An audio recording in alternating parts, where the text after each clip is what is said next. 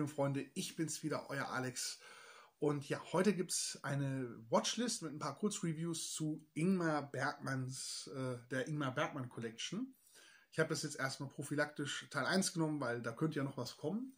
Ich habe das jetzt als Watchlist gemacht, ähm, einfach weil einige Leute in den Kommentaren ja gesagt haben, hm, mach da mal Reviews. Ähm, ich glaube, Oliver Leder war das, der gesagt hatte, an Bergmann, ich habe mich bisher da nicht rangetraut, weil er ja sehr anspruchsvolles Kino machen soll. Und ich kann Oliver da verstehen. Ne? Selbst wenn man anspruchsvolle und intelligente Filme mag, manchmal ist das kritisch, weil ich sag mal, auf manche Filme muss man auch Bock haben. Und wenn ein anspruchsvoller Film sehr viel Gehalt hat, ich kann mir das nicht abends nebenbei mal angucken, wenn ich was äh, unterhalten werden möchte. Weil wenn manche Filme sehr gehaltvoll sind, geht da so ein ganz Mühe manchmal auch der Unterhaltungswert verloren und es ist halt eher wirklich eine Kopfsache als eine Herzenssache. Ne? Deswegen hatte er ja gefragt, Morpho hatte ja, glaube ich, meine äh, Meinung allgemein interessiert, weil er von Bergmann auch begeistert ist und da auch sich nach und nach rantastet und gesagt hat, äh, naja, dann dachte ich, machst es als Watchlist, äh, dann komme ich da auch zeitlich nicht in die Bredouille und vielleicht auch ein bisschen Egoismus, äh, wenn ich jetzt natürlich jeden Film einzeln review aus dieser Box nach und nach. Werde ich sicher nicht bei jedem tun, aber dann würden wir auch, würde ich nur noch äh, Ingmar Bergmann Reviews machen und ihr seid ein bisschen egoistisch an der, äh, der, an der Stelle. Ich glaube, das interessiert halt auch nicht jeden. Ne? Deswegen als Watchlist. Ja, anfangen möchte ich dann mit Das Lächeln einer Sommernacht aus dem Jahr 1955 und damit ging es auch los in der ähm, Collection und das war gleich sehr überraschend, weil ich mich wenig auseinandergesetzt hatte mit Bergmann bisher und auch mit seinen Filmen. Nur ich wusste immer, ne, ein bisschen Arthouse, kün durchaus künstlerisch gemacht, sehr viele anspruchsvolle Themen, die mit drinnen verarbeitet werden, gerne auch mal ein Stück weit, ja, sehr düstere und ernste Themen, wohl auch aufgrund von Bergmanns Persönlichkeit, weil er selber ja auch, hm, ja, ne, ja, wie man das jetzt sagen, manchmal sehr depressive Persönlichkeit war. Ähm, und gut, da weiß man, was dabei rauskommen kann, ne, wenn man sich den Lars von Trier anguckt, so klasse seine Filme überwiegend sind.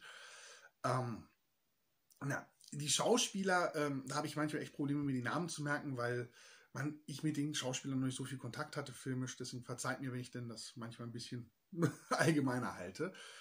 Ja, bei das Lächeln einer Sommernacht, wie gesagt, Sexkomödie, hat mich erstmal überrascht, aber ich muss schon mal gleich so viel sagen. Eine Sexkomödie in den 50ern ist eine ganz andere Hausnummer als eine Sexkomödie heute. Heute kennen wir das Pipi-Kaka-Humor, Fäkalien äh, und äh, ne, also wirklich unterstes Niveau. War in den 50ern ein bisschen anders. Da wurde, da konnte man ja auch nicht immer alles komplett direkt zeigen und da muss man auch ein paar andere Wege finden, dass das dann einerseits lustig ist, andererseits aber auch wirklich sich um Sex dreht. Und bei das Lächeln einer Sommernacht hatte ich ja im Stream bei Patrick schon erwähnt.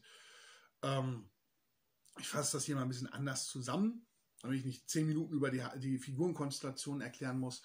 Es geht hier um acht Personen, die irgendwie kreuz und quer mit irgendjemandem ja, verbandelt sind, beziehungsweise Interesse an dieser Person haben, aber das ist eigentlich alles mh, hm, ja nicht so erfüllend für sie und nicht so hundertprozentig richtig. Und als sie dann auf dem Landhaus äh, der Mutter der einen Person, also der, der Schauspielerin, dort dann ja, ich sag mal, ein kleines Treffen haben und auch so ein ja, Essen, ne, da diese Situation eskaliert nicht, aber da scheint, da biegt sich das Ganze dann so ein bisschen in die Form, wie es eigentlich dann auch gehören würde. Ne, und da sind natürlich, werden viele, äh, Leuten, vielen Leuten Avancen gemacht, da versucht man, ne, vielleicht auch, ja, hm, sexuelle Abenteuer zu haben, ähnliches. Ist jetzt sehr simpel zusammengefasst, nicht hundertprozentig treffend, aber wie gesagt, es dauert zu lange, die Figurenkonstellation sinnvoll zu erklären. Außerdem will man da nicht zu viel vorwegnehmen. Und der Film, wie gesagt, es ist eine Komödie und bei einer Komödie ist natürlich auch wichtig, wie lustig ist sie. Und ich kann mir vorstellen, es ist nicht jedermanns Humor. Ne? Also wer hier wirklich so richtig laute Schenkelklopfer haben möchte, äh, ja, das haben wir hier nicht. Aber es ist wirklich ein, ja, Stück weit anspruchsvoller Humor, äh, anspruchsvollerer Humor. Gottes Willen. Heute los mit mir hier. Ähm, weil hier sehr viel ähm, über die Dialoge gearbeitet wird und es ist im Englischen immer so schön, da kann man das ganz einfach mit dem Begriff Wit sagen. Ne? Wenn Dialoge sehr viel Wit haben. Das heißt, es ist beim Pen and Paper wird das dann bei Vampire zum Beispiel mit Geistesschärfe übersetzt, aber das ist einfach, ich, ich weiß nicht, wie man das vernünftig ins Deutsche übersetzen kann.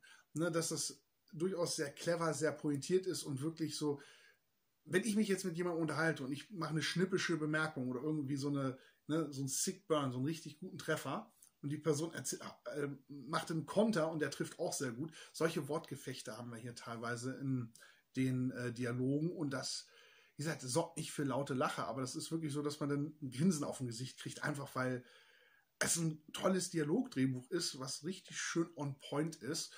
Und wer solchen Humor mag, der ist hier dann natürlich vollkommen richtig, weil das sitzt dann. Ne? Und hier auch oft in Verbindung ähm, es klingt jetzt fies, wenn man sagt, aber manchmal auch mit so einer gewissen Demütigung einer Person. Auch einige etwas äh, abstrusere Szenen, ich will jetzt nicht sagen Slapstick, da gibt es auch ein paar Szenen, wo dann, ja, ich will hier nicht spoilern, wo man dann wirklich in eine ja, Situation kommt, wo man sich so ein bisschen hm, an den Kopf packt. Ähm, das ist ne, schon cool gemacht, hat aber auch immer einen gewissen düsteren Hintergrund, immer spielt auch ein Stück weit vielleicht eine Demütigung äh, für die Charaktere eine Rolle, also eine zumindest empfundene Demütigung. Und naja, deswegen entlädt sich das hier, hier dann auch am Ende alles so schön. Und es ist, also wie gesagt, ich fand es wirklich sehr amüsant. Es ist nicht, dass man laut loslacht, das ist sehr amüsant gemacht. Und wenn man gerade diese ja, Wortduelle ne, mit, mit wirklich treffsicheren Bemerkungen mag, ist das klasse.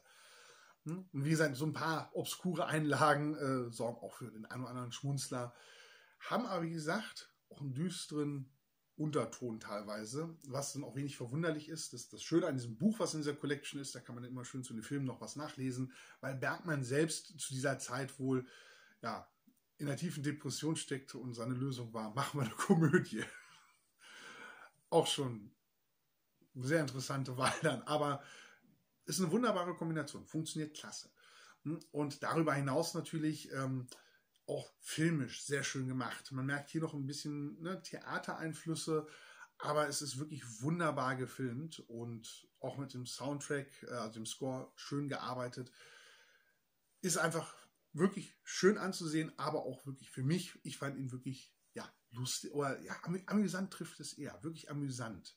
Ne? Und ja, unabhängig davon, Bergmann baut hier natürlich auch viele ne, Themen wieder mit ein, jetzt auf alle da einzugehen, aber am treffendsten ist tatsächlich, ähm, ja, ich sag mal, auch Beobachtungen zum Thema ne, Liebe ne, und ja, ich sag mal auch, vielleicht auch wie Leute auf die Liebe blicken, weil hier das Lächeln einer Sommernacht, es geht hier, am Ende wird das wunderschön zusammengefasst ne, mit den ja, drei äh, Phasen, ähm, wie quasi ja, die Sommernacht auf die einzelnen Liebespaare lächelt. Also will ich nicht viel zu viel vorwegnehmen, es passt aber wunderschön und ja, wie gesagt, hat auch so eine gewisse Treffsicherheit, muss man klar sagen. Beim zweiten Film kann ich mich etwas kürzer fassen, das war nämlich Bergmanns Erstlingswerk Kris, also Krise, äh, Crisis heißt im Englischen, bedeutet halt Krise. Äh, fasse ich mich hier auch etwas kurz. Äh, aus dem Jahr 1946. Bergmann selbst hat auch laut dem Buch wohl gesagt, was für ein Scheißfilm. Also nicht wortwörtlich so, aber er war wohl im Nachhinein absolut unzufrieden mit dem Film und naja, ich sag mal, wenn jemand da dann sagt, oh Gottes Willen, was habe ich da für eine Scheiße produziert? Ähm, und der Film ist dann immer noch solide. sagt das ja auch schon, was Bergmann auch teilweise hier vielleicht auch für Ansprüche an seine eigene Kunst hat. Hm.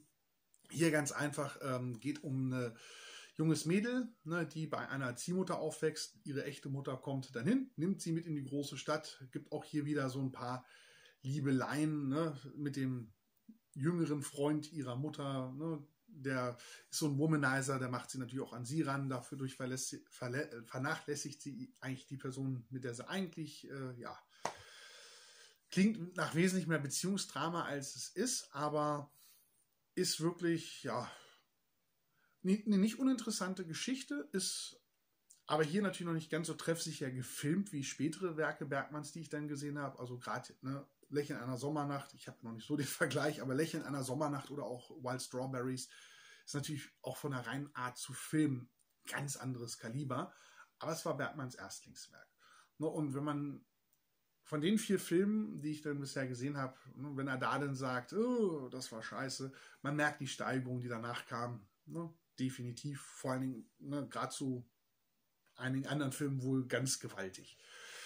Kann verstehen, dass Bergmann da gesagt hat, hm, ganz zufrieden war er da nicht. Nett gesagt.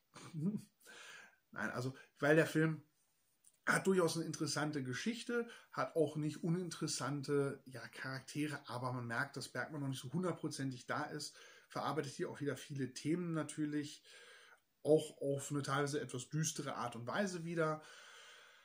Ja, aber irgendwie, äh, man kann es kaum beschreiben. Es ist nicht ganz so eine Punktlandung wie andere Sachen, die er gemacht hat. Ähm, ist auch noch nicht ganz so bewegend. Und kam auch, glaube ich, damals, so wie ich das äh, jetzt nochmal aus dem Booklet in Erinnerung habe, auch bei vielen noch nicht so gut an, der Film. Also, ne, das ist, äh, in dem Booklet haben, oder in dem Buch haben sie es gut beschrieben, das ist so Batman in the Making. Man merkt, gewisse Sachen sind schon da, aber sind noch nicht komplett on point gelandet, weil Bergman da wohl auch noch ein bisschen, klingt blöd, sich selber finden musste oder ne, noch so ein bisschen rumsteuern musste. Naja, der zweite Film äh, von ihm, nee, der war nicht der zweite, sein vierter Film insgesamt, der dritte Film in dieser Box von 1947, Ship to India Land, also äh, in Deutsch heißt er, glaube ich, äh, Schiff nach Indialand tatsächlich. Ähm, hier geht es um ja, einen jungen, ähm, ja, jung ist er dann am Ende nicht mehr, aber um einen Matrosen, der quasi zurück in seine Heimatstadt kommt, nachdem er lange Jahre unterwegs war. Und ja, trifft da seine, ich nenne es mal Jugendliebe wieder durch Zufall und haben wir einen Rückblick, wie die beiden damals sich kennengelernt haben ne, und was damals alles passiert ist, bevor er auf diese Reise gegangen ist. Und da spielt natürlich eine große Rolle ne, sein Vater, der auch Kapitän war. Er hat bei ihm auch mitgearbeitet, aber ja, aufgrund seines Buckels ähm, war das dann immer so ein Stück weit. Sein Vater hat ihn irgendwo eigentlich verachtet und äh, als schwach angesehen. Und es kamen ganz viele komische Sachen zusammen, wieder, wie immer, äh, ne, hier mit den menschlichen Beziehungen. Ne, sein Vater und seine Mutter, irgendwie war da die Luft raus. Der Vater nimmt dann die Dame, auf die er denn, oder in die er sich dann verliebt, oder die sich dann ineinander verlieben, bevor das dann alles, ne, als er los ist in die Brüche geht, ähm, ne, die nimmt sein Vater dann halt mit auf das Boot, wo die wohnen und hat eine Affäre mit der und oh, Also auch hier wieder ein Filmdrama mit einer prinzipiell auch interessanten Handlung. Ähm, ja, ist insgesamt auch etwas spannender und unterhaltsamer geraten und von den Figurenkonstellationen noch ein bisschen treffsicherer als Chris zum Beispiel noch. Ist aber auch noch nicht ganz an dem Punkt, wo Bergmann wohl später mit vielen Filmen hingekommen ist. Ähm, kann ich mir aber, konnte ich mir aber gut angucken. Ich fand den durchaus auch interessant gemacht. Ist, wie gesagt, filmisch muss ich sagen, so von der ganzen Art, wie es gedreht ist, fand ich ihn auch schon eine äh, deutliche Steigerung zu Chris. Ist aber immer noch kein ja, weltbewegender Knaller oder ein großes Meisterwerk. Aber ich fand ihn gut, weil die Handlung halt auch interessant war. Die Darsteller machen das vernünftig und Bergmann hat hier zwar, das wirkt anfangs, als ob diese Charaktere gewisse Schablonen sind, Archetypen. Er schafft es, die nach und nach so ein bisschen Leben und Background zu verleihen, dass, ja, dass das Ganze wirklich gut funktioniert. Ich muss hier mal ganz kurz einen Cut machen. Geht sofort weiter. So, geht weiter. Sorry für die kleine Unterbrechung. Ähm, ja, der letzte Film war Wilde Erdbeeren. Und da hat der Morpho ja auch schon in den Kommentaren gesagt, den hat er gesehen und mh, mm, absolut klasse. Ja, bei Wilde Erdbeeren geht es um Professor Is sorry, Isaac Borg. Und der ist ja seit 50 Jahren Arzt und lebt inzwischen sehr zurückgezogen. Im Anwesen hat er seine Haushälterin Akta und ja, naja, ne, er soll geehrt werden in seiner, äh, in Lund, weil er 50 Jahre Arzt ist. Und naja, die Frau seines Sohnes ist erstmal nur seit ein, zwei Wochen oder ein, zwei Monaten bei ihm jetzt untergekommen.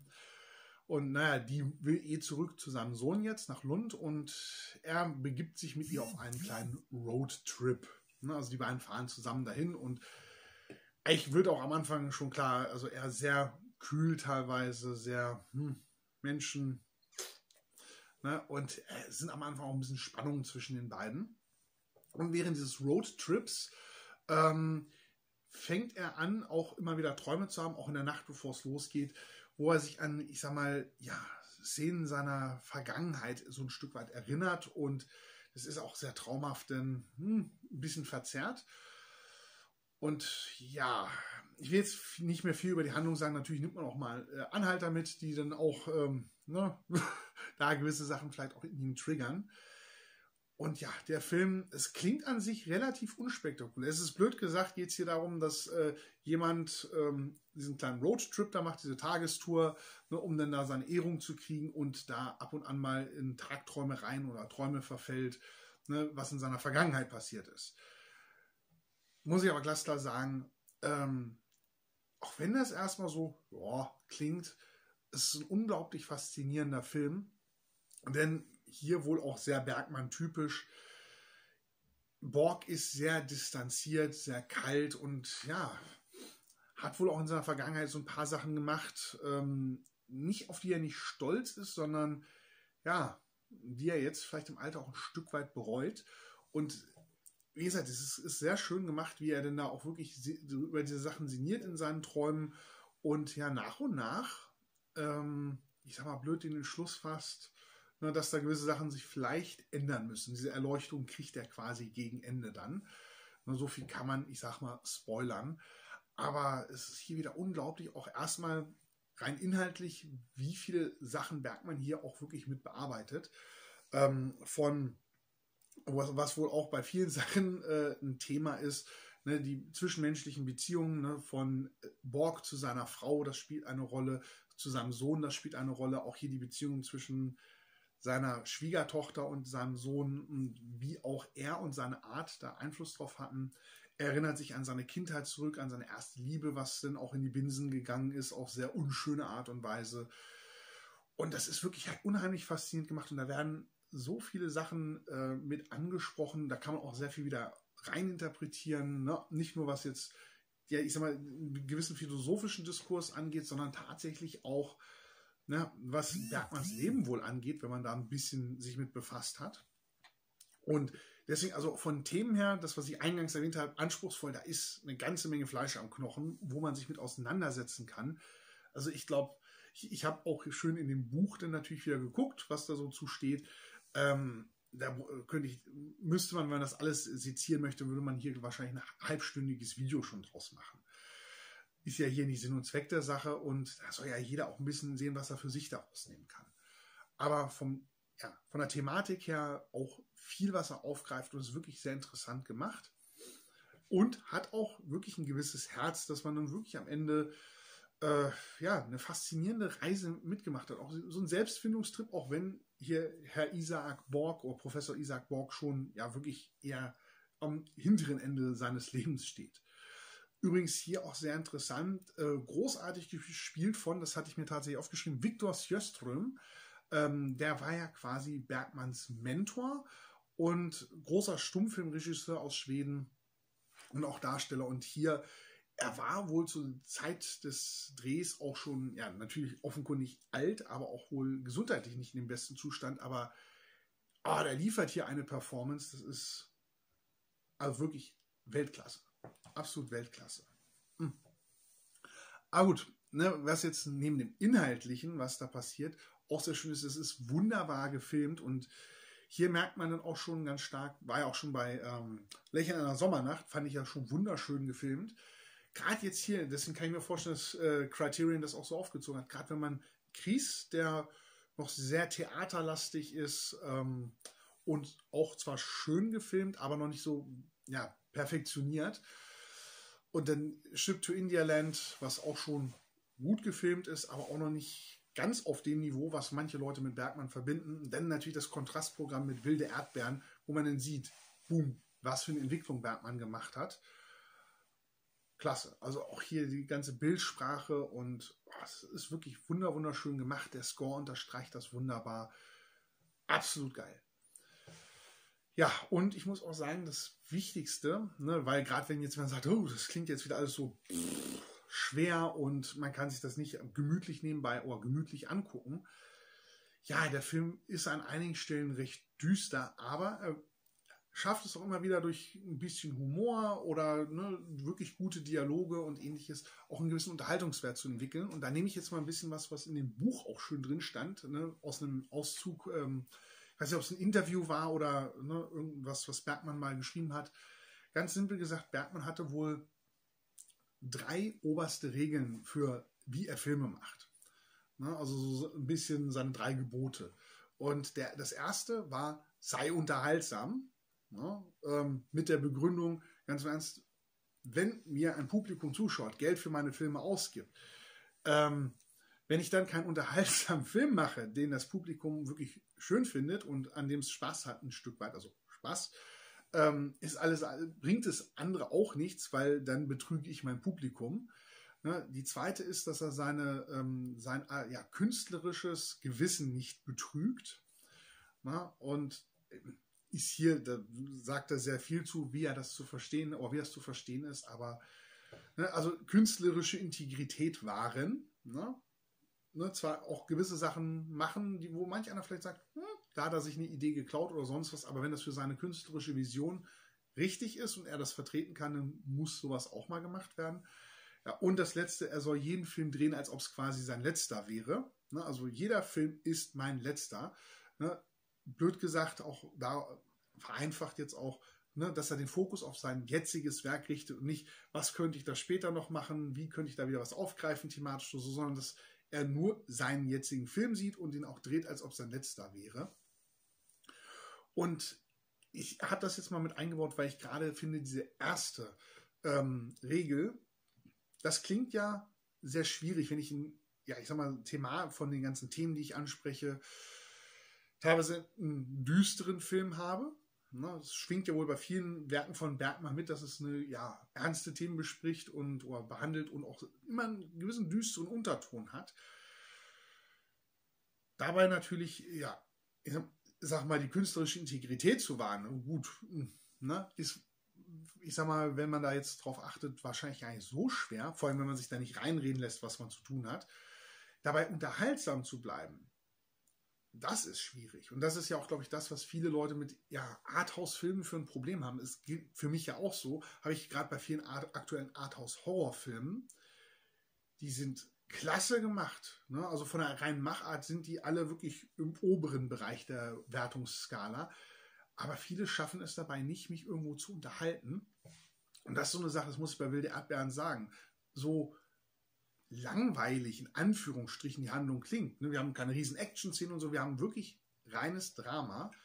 Aber Bergmann schafft es, dass es zu keiner Sekunde langweilig wird, dass das wirklich faszinierend ist, dass es eine gewisse Spannung aufbaut und dass und hier jetzt äh, die, auch die Entwarnung, dass das thematisch jetzt gar nicht so, äh, so reinhaut, dass man wirklich nur noch am Überlegen ist und so. Nee, man kann den Film gucken, man kann ihn auf sich wirken lassen. Ne, Gerade der hier auch, wie gesagt, wunderbar gefilmt es, es wirkt halt auf einen, man nimmt die Themen mit, aber man ist nicht so fokussiert darauf, dass man keinen Unterhaltungswert aus dem Film zieht. Und deswegen also, ist schwer in Worte zu fassen, aber ich finde wirklich, also Wilde Erdbeeren ist da in der Hinsicht wirklich ein Meisterwerk. Er schafft es, viele Themen anzusprechen, viele anspruchsvolle Sachen anzureißen, einen wirklich zum Nachdenken zu bringen, gerade auch im Nachgang, aber bleibt offen für viele Interpretationen aber er ist trotzdem unterhaltsam. Man kann ihn super anschauen und ja, hat Spaß mit dem Film, ne? in Anführungsstrichen.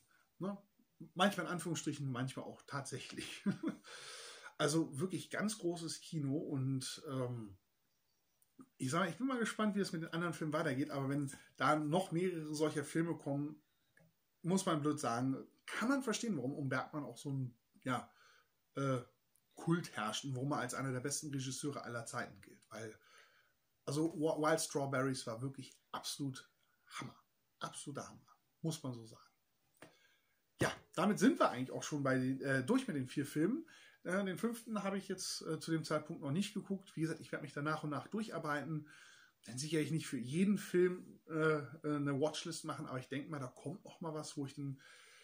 Ne, also ich weiß jetzt schon, äh, Seventh, Seventh Seal ähm, Szenen einer Ehe und auch äh, ja, Sarabande, dann Persona, Jungfrauenquelle, also das sind, glaube ich, alles Filme, da, da werde ich auch noch die in eine Watchlist einbauen, weil boah, sollte man, man sollte vielleicht auch mal mehr über die Filme sprechen, damit mehr Leute sich vielleicht auch an das ganze Thema ranwagen, weil für mich war das ja auch, hat das nicht auch ein bisschen Überwindung gekostet, jetzt nicht mal wegen dem Preis der Box, sondern weil, hm, nachher ist das so arzi-fazi, dass man wieder denkt, aber kann ich jetzt äh, nicht behaupten bisher. Ne? Es ist zwar sehr künstlerisch und wirklich Arthouse-Kino, aber es vergisst dabei nicht, dass Leute auch Filme gucken, um unterhalten zu werden. Von daher ist ja wirklich klasse und also Wild Strawberries wirklich ein Meisterwerk. Lächeln einer Sommernacht wirklich ein sehr, sehr cooler Film, sehr unterhaltsamer Film. Und ja, Kries ähm, ist in Ordnung. Ne? Bergmann selbst fand ihn wohl scheiße im Nachhinein, aber gut. Und Ship to Indialand, äh, da war Bergmann doch auch nicht ganz zufrieden mit, aber ja, den kann man sich auch schon ganz gut angucken. Na, damit bin ich an der Stelle durch. Ihr kennt den ganzen Kram hier unten. Vielen Dank fürs Zuschauen und ja, dann hoffentlich bis zum nächsten Mal. Ciao, ciao.